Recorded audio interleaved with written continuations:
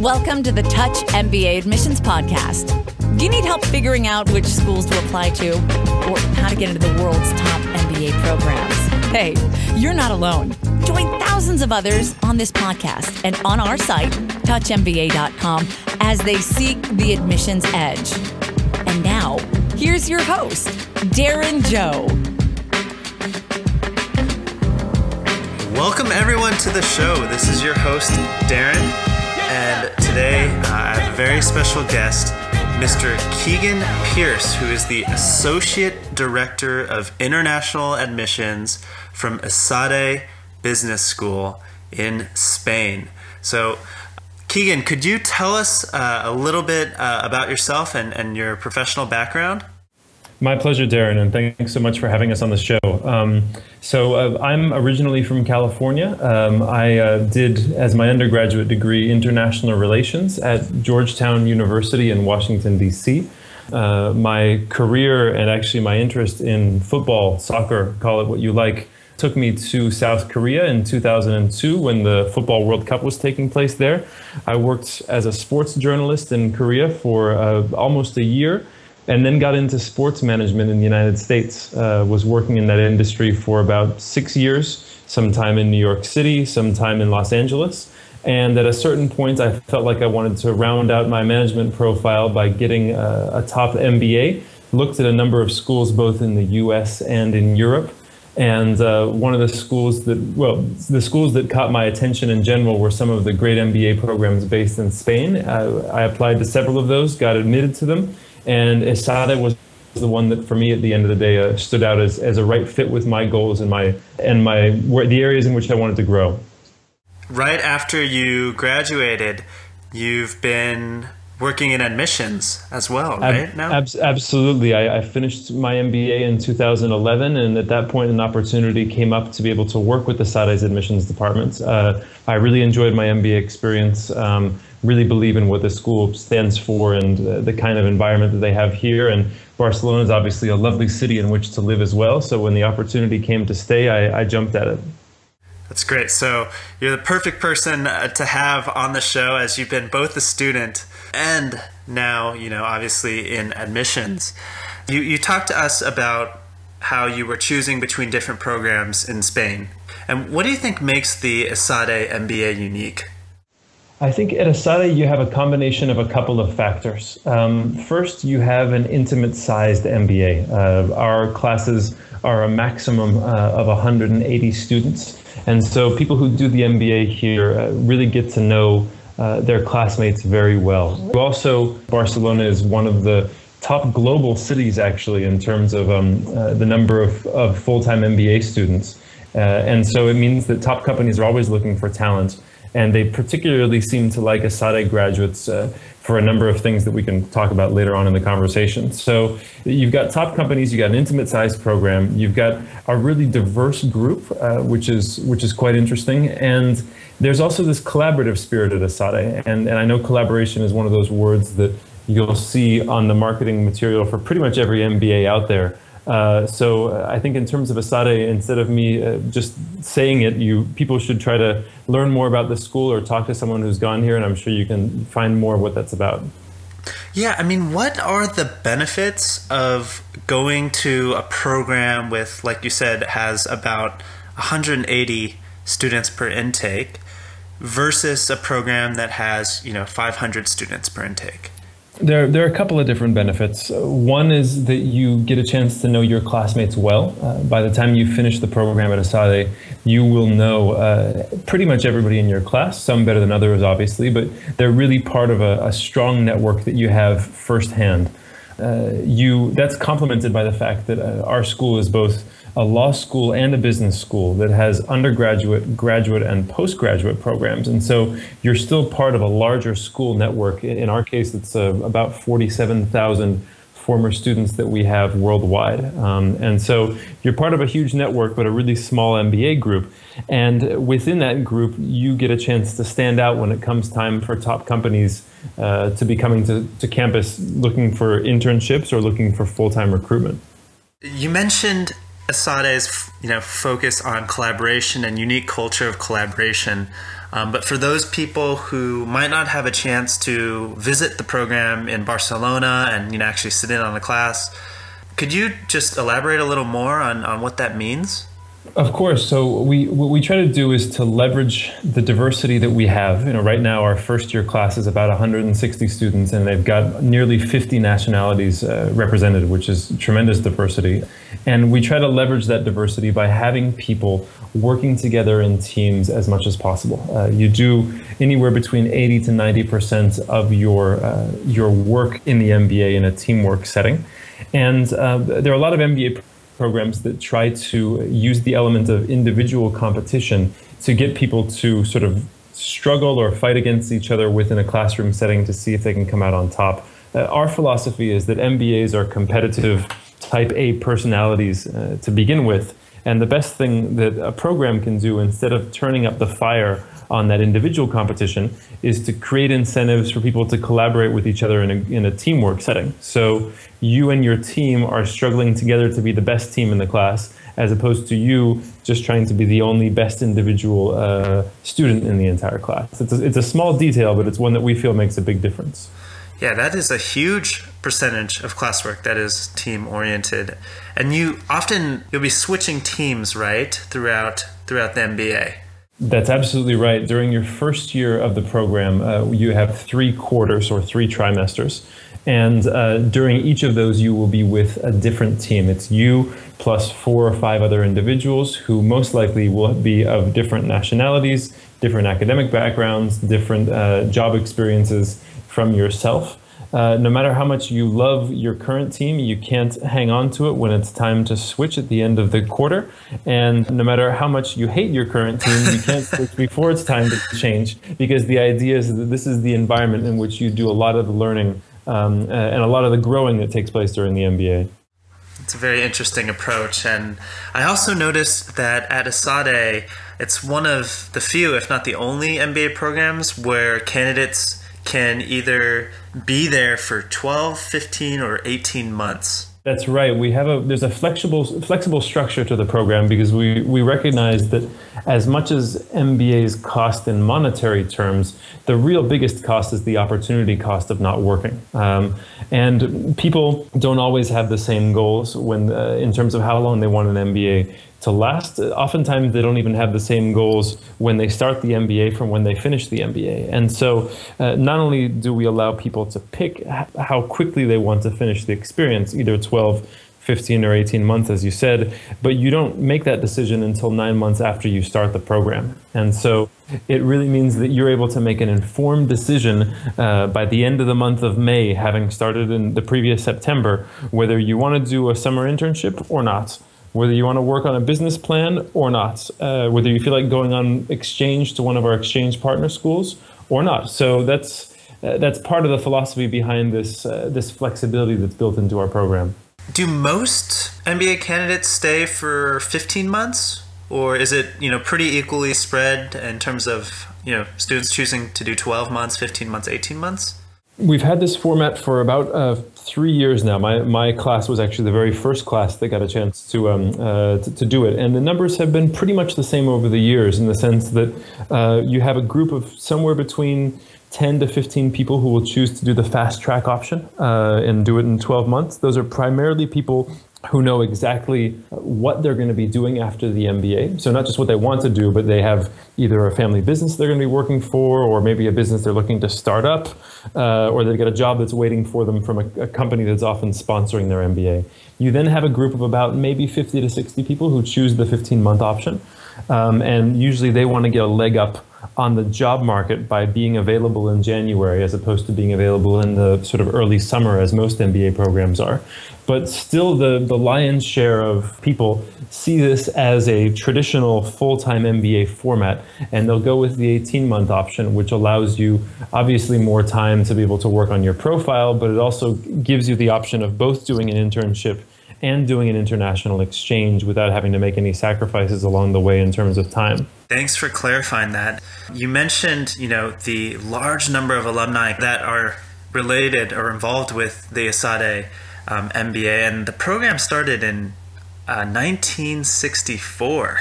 That's right. right. A long time ago. And So I was wondering why, curriculum wise, there was a focus on like family business, finance, and entrepreneurship. Yeah, so these are these labs are three areas in which we've found that there's a real demand both from students and from the market to gain further specialization. Finance is uh, is a clear traditional MBA area. It's an area in which we've seen an increase in our uh, in the placement of our students over the years, and we decided to bolster it by uh, by introducing the finance lab. Uh, to take a quick break here, the the lab is essentially an opportunity for people to do semi-curricular activities throughout the course of the academic year. You um, are attending lectures, you're doing some extra work. These take place in the afternoons after you've finished your normal core courses. And if you complete a certain number of credits or activities within the labs, you gain a certificate at the end of it. So it's kind of like the equivalent of getting a, a minor in your in your university within, let's say, the U.S. university system. So finance is finance is one important one. It's led led by a great guy named Pablo Triana, is one of our star professors. Then there is the uh, the entrepreneurship lab, which uh, entrepreneurship is in the DNA of ESADE. In fact, the school was founded by entrepreneurs who were looking to improve the business climate in Europe and in Spain in general. And uh, finally, there's the Family Business Lab, which is led by a guy named Alberto Gimeno. Uh, we see more and more family business students uh, coming to ESADE, and we really wanted to give them a resource that allowed people to focus more on that on that area. I should mention also Jan Brinckmann is the name of the guy who's in charge of the entrepreneurship lab, and that's a really popular option for students as well. Yeah, I've, I think there's a growing number of MBA candidates, especially from Asia, where I'm based, you know, that are heavily involved in their family business. But um, so I think that's that's a smart move. Are there any new exciting developments with the program? There are a couple of things that we're really that we're really excited about. One is uh, our action learning program. Uh, we're based here on a brand new campus. Uh, we've moved into um, uh, this campus just as of last July, and so it hasn't even been a year that we've been here. Uh, it's it's essentially the international campus of the of the university. It shares facilities with our one-year master's programs, uh, with our international undergraduate business program, and there are also a number of companies that are based here in a business incubator called Creapolis. And um, the Action Learning Program is something that students are already participating in from our first year class. It allows them to work on a consulting project with one of the firms that's based in Creapolis and uh, essentially puts into action many of the things that they've learned during the course of their first year course uh, core courses, and it gives them different perspectives uh, on those learnings moving forward. Great, and most of those companies are startups. Most of them are startups. There are a few larger companies as well um, uh, in industrial sectors, in finance sectors that have uh, either an innovation or a research and development department, which is based partially here at Creapolis. But the, there are over 70 companies that are here, and primarily they're sort of early to middle growth companies uh, or startups directly. So I'm sure you're kicking yourself and asking uh, ESADE, well, why couldn't you have built this building when, when I was going through the program? It's really spectacular facilities. I think, I mean, uh, I, I, look around at, at, what our offices look like, what the classrooms look like, what the meeting rooms look like, and the kind of technology and space that they've got. And, and you can certainly see why uh, the decision was made to upgrade to this campus. So I think a lot of our audience, you know, has heard about Barcelona that it's a really exciting, fun place to live, a center of commerce in Spain. But a lot um, of people have, have told me, well, Spain's going through an economic crisis right now with you know high unemployment rates, a shrinking economy in, in the past few years. So, you know, why should candidates get their MBA in Barcelona and Spain now? It's interesting because as economic situation uh, has gotten tougher here in Spain, I think there's uh, there's absolutely no hiding from that fact, and and certainly the unemployment figure is what catches the biggest headlines right now. Uh, the, at the same time, the business schools in Spain have been making a steady increase in most of the the global rankings, and uh, I think the reasons behind that, there are a number of different reasons. One is that there are schools with a lot of tradition uh, that have been around for at least 50 years in the case of, uh, of, of, some of the top schools. There, there are schools that offer not only quality education, but the opportunity to learn the Spanish language, which is one of the top three most spoken languages in the, in the world. Depending on who you ask, it's either second or third behind Mandarin. And they're, they're schools where, they, where people take international talent put them in contact with an international MBA program, and then link them to international jobs afterwards. So, in the case of ESADE, uh, we have some of our best placement rates that we've had in the course of the past 10 years. So within three months of graduation, uh, about 93% of our graduates were already placed from our most recent graduating class. And at the same time, only about 10% of our graduates go on to work in Spain afterwards. So it's, it's really an attractive location and a really great quality of life where people can get a great education and then move on to work inside Spain if they're interested, but also in, in the great majority to work outside of Spain uh, at some top locations and some top companies. And you know, especially as uh, for you as an American, you know, having worked in Korea and then the U.S. and then now you're getting your MBA in Spain. I mean, what was your experience like applying for and looking looking for jobs in Spain or outside Spain?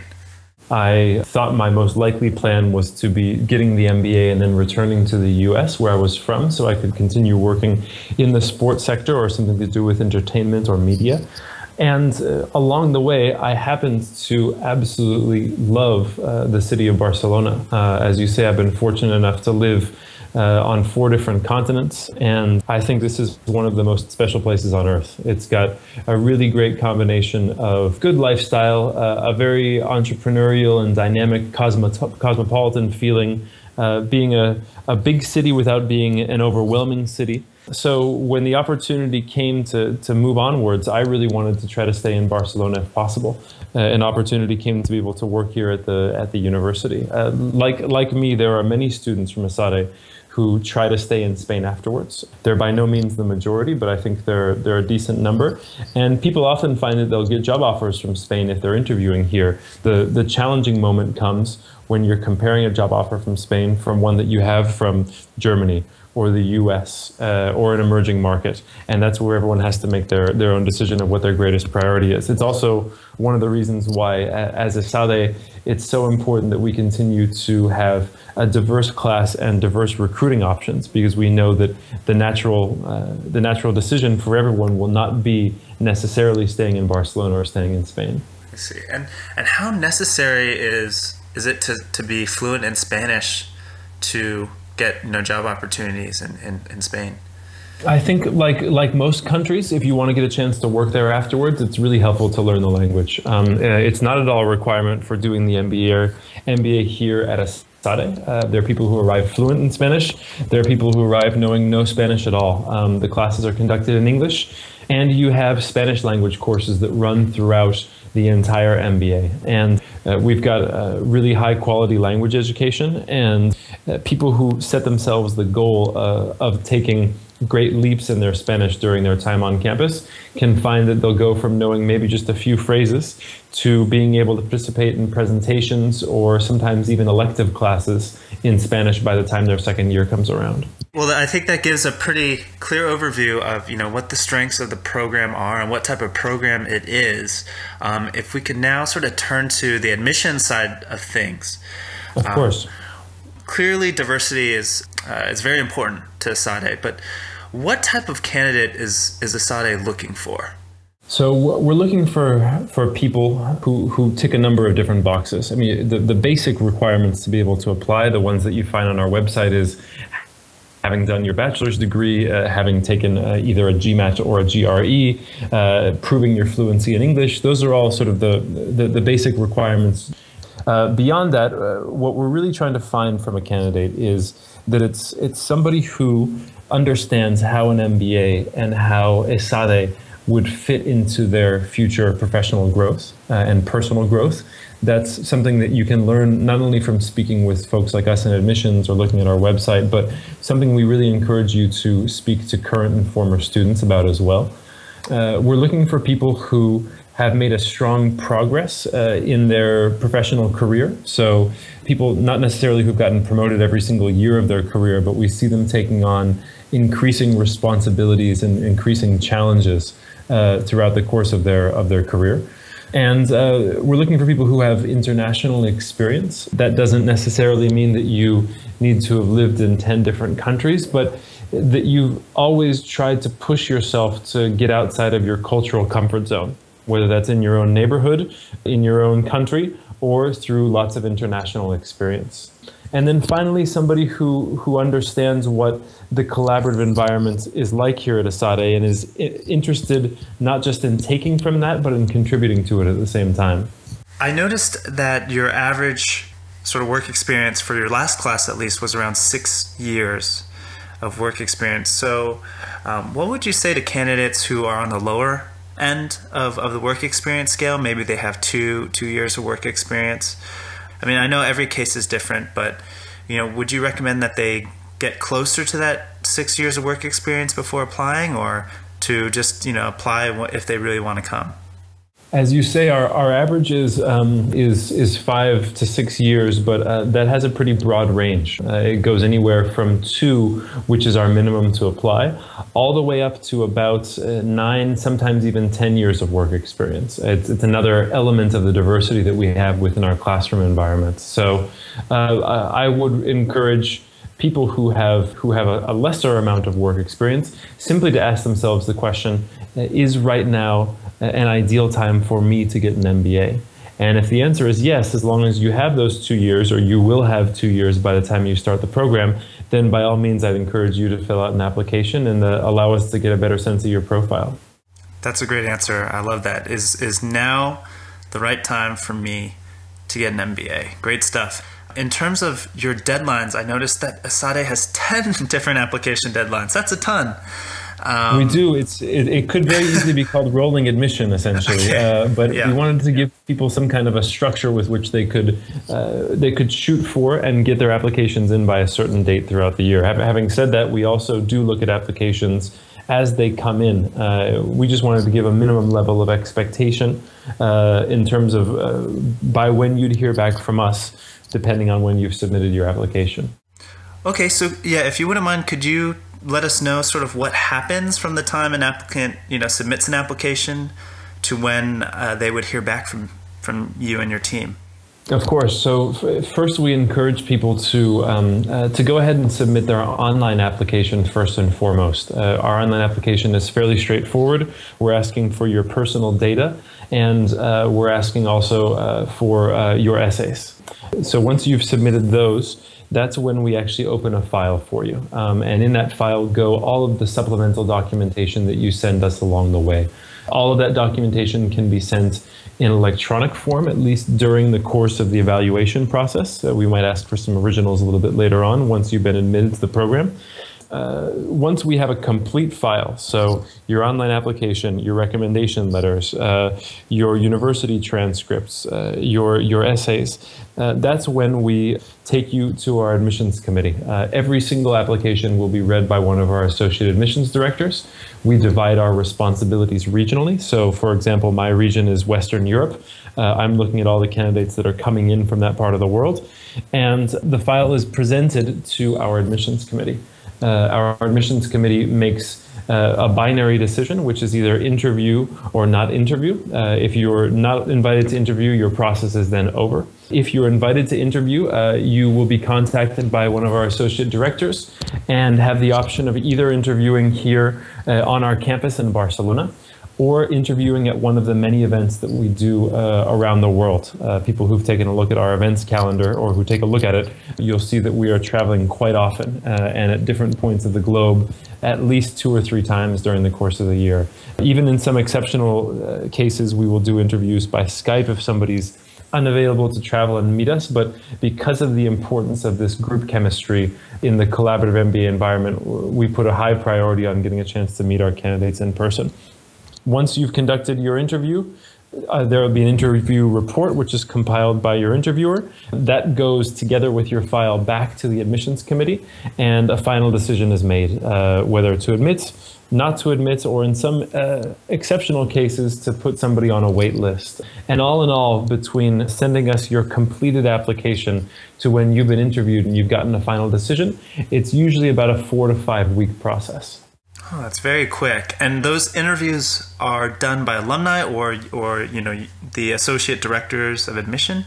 Those interviews are all done by someone who sits on the admissions committee.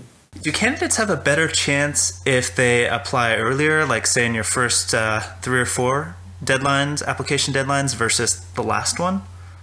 Candidates usually have a better chance applying early. We we try to schedule our deadlines so that we're taking in an equal number of candidates in every single round. Uh, but but usually folks who uh, who apply early tend to have a better uh, a better possibility because the bulk of applications comes in during those middle months. Huh.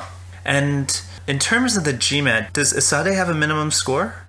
Uh, ESADE does not have a minimum score on the GMAT, uh, but we have an average, which is 670 the, the middle the middle 80% range of that can be anywhere from the low 600s all the way up to the high 700s.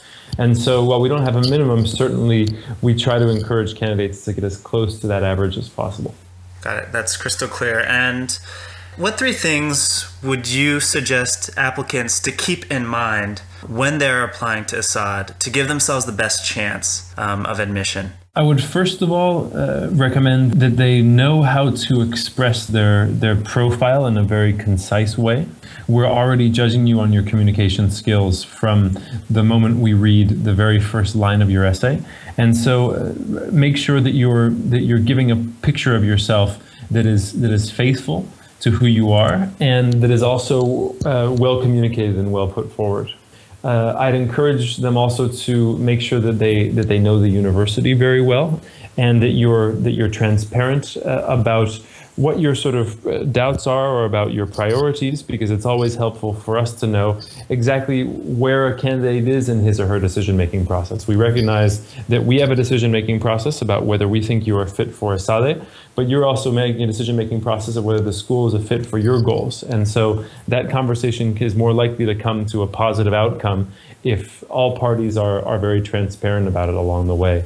And finally, I'd really encourage uh, candidates to reach out to former and current students of our program. We think that we think the world of our of our students. We think that they are uh, among the best assets that we have uh, as a program, and uh, we think that the best way you can learn about the ESADE MBA experience is to talk to somebody who's been through it uh, themselves. And so, most of our students are very receptive about being contacted not only through admissions but even through platforms like LinkedIn if you do a search, uh, an advanced search with ESADE in the education field, uh, you can find somebody who might be a, a direct or a secondary contact of yours who studied at the school or who might live near where you live. And go ahead and reach out to them. Uh, chances are, if you explain to them that you're interested in ESADE, uh, they'd be willing to take some time to be able to answer questions for you. Great. So you would recommend uh, getting in contact with the admissions office or um, finding them through you know the various social media platforms to get in touch exactly. with students. Okay. I'd, I'd say use LinkedIn as your as your starting point. Uh, look for somebody who has a particular profile, or if there are any specific uh, needs uh, that you might have. Uh, go ahead and look for that profile first, and depending on whether you find what you're looking for, then reach out to us in admissions, and we're always happy to help as well. Yeah, and, and I agree. I think LinkedIn is a very powerful tool for MBA candidates. Um, you can go to different school networks and actually see a breakdown of you know where uh, alumni are working and what industries they're in. So um, it's just a super useful tool to meet uh, MBA students from your target schools. So Keegan, if we could talk about financing the ESADE um, MBA, what what percentage of your class gets scholarships, and, and what are your average scholarship amounts? So uh, people finance their MBA obviously through a number of different for, uh, forms. Um, uh, loans, personal savings, family contributions often make a much larger percentage than, uh, than one might imagine. Uh, and then scholarship are also a really important component. At ESADE, about one third of any given class uh, receive some form of scholarship from the university. And our scholarships can range in amount from anywhere between 5,000 euro all the way up uh, to about 20,000 euros. So we're talking about anywhere from uh, 10 to uh, about 25% of the, uh, of the cost of the program. And those scholarships are awarded along with the offers, or do you know candidates have to apply for those scholarships after gaining admission? Some scholarships are awarded together with the offer uh, that you receive your admissions letter, and in that letter already comes an offer of a scholarship. For those people who do not receive that type of offer, you can also apply to one of the merit scholarships, uh, which uh, are, are posted on our website.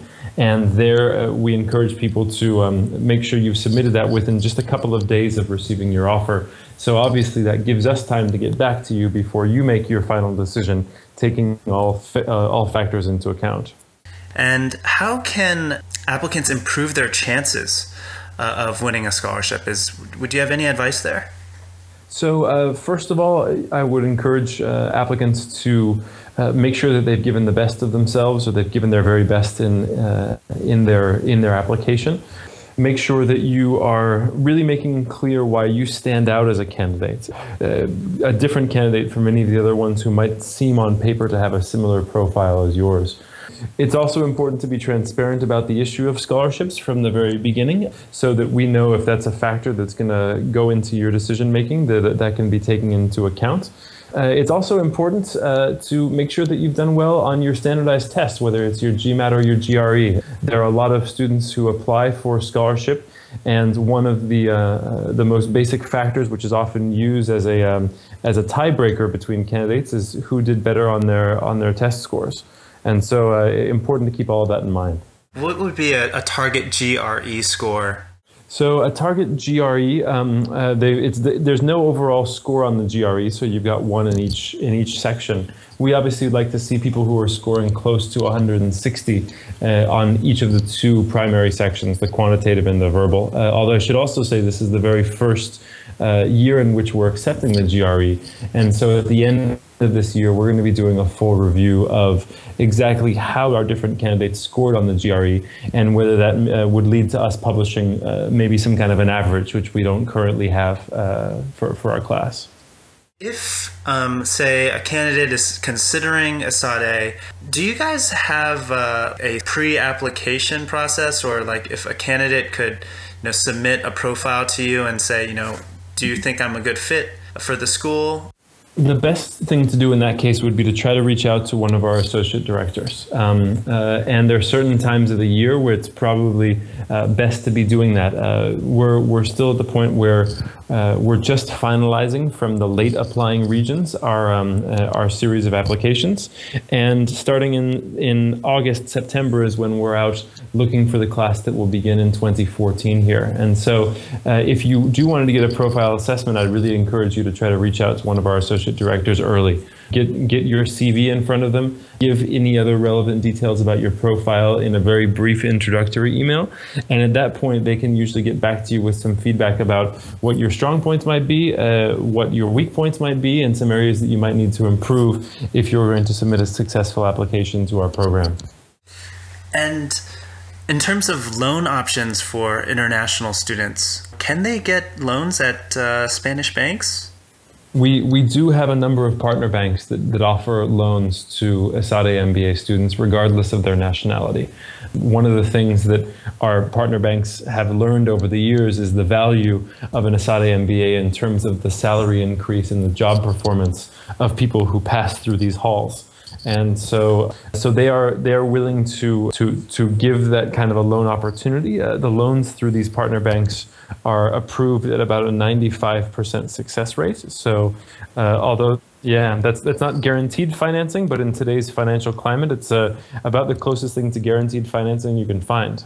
And so, uh, so and those loans can cover up to fifty percent uh, of your of your tuition at ESADE. And if you happen to have some kind of a, a co-signer or a bank guarantee from your own country, those can cover up to hundred percent of tuition.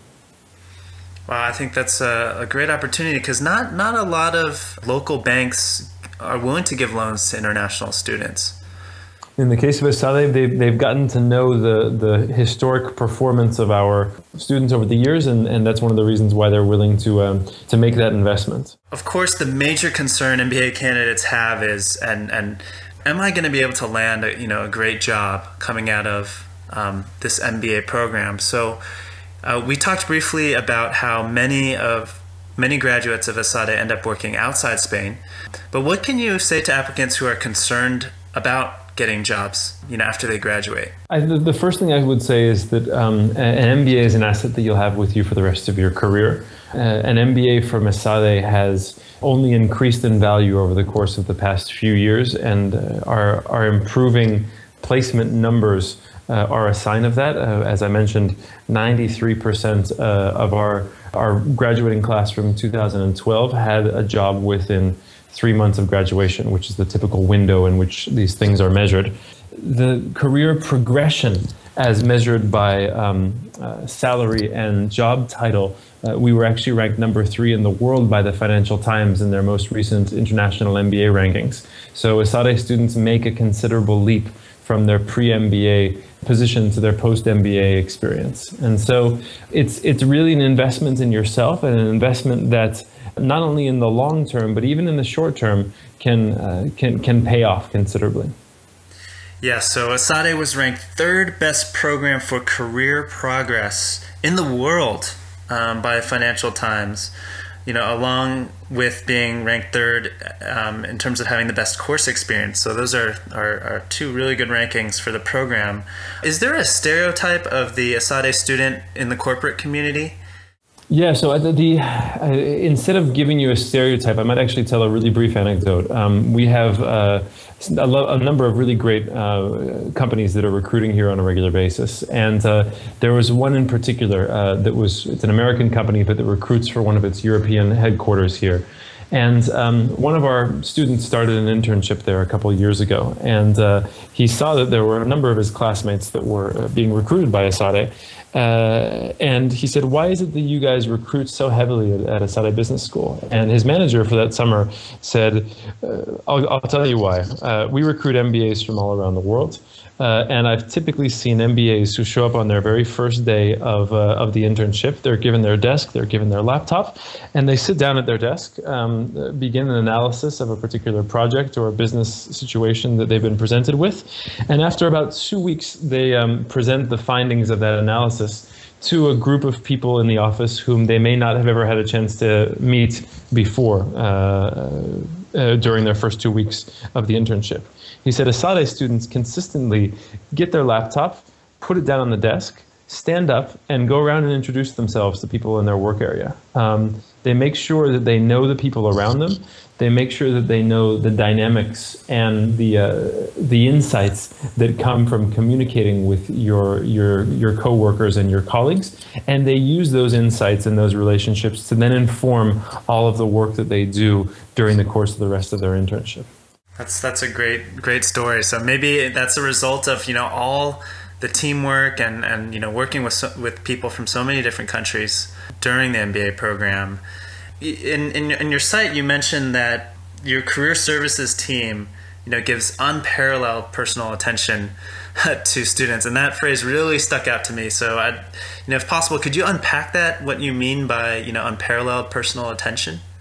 Of course. So um, uh, our career services department um, uh, is a number of great individuals with really strong relationships with companies in different sectors and across the globe. Um, when you're part of the ESADE full-time MBA, uh, you are part of uh, an elite group that has access to career services, uh, allowing you an opportunity to really stand out from uh, programs where perhaps you don't get enough face time uh, or enough contact with your career services uh, departments and the companies that they're uh, that they're in touch with. Our career services folks are in touch with you before you start uh, here on campus, usually within three months uh, before your MBA experience even begins.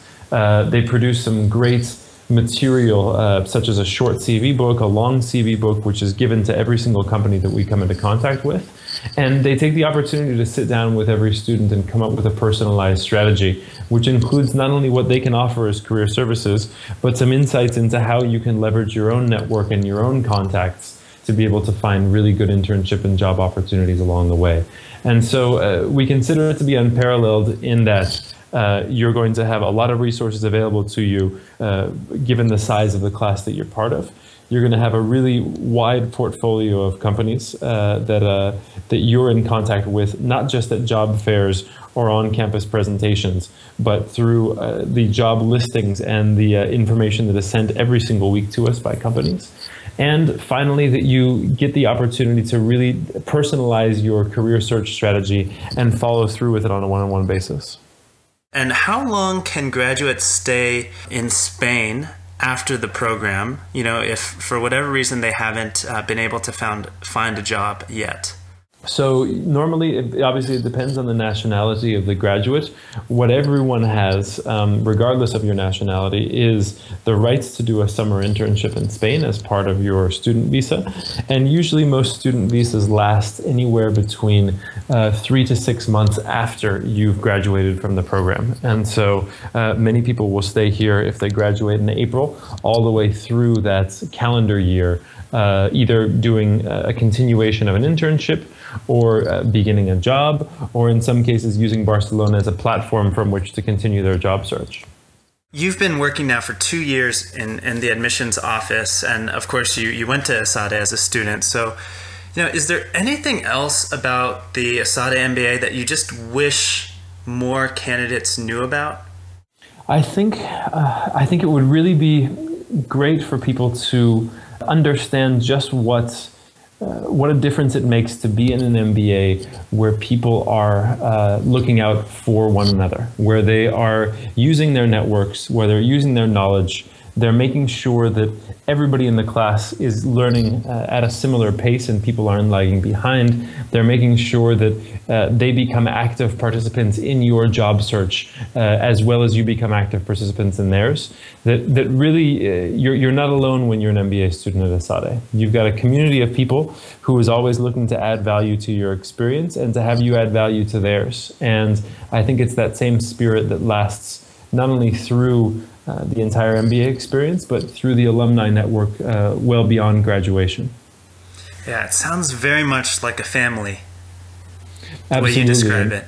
Absolutely, and, and when you speak to uh, current and, and former students, and that's why I really encourage it, candidates to do that, uh, that usually shines through even, even, even more than just what I'm able to say here.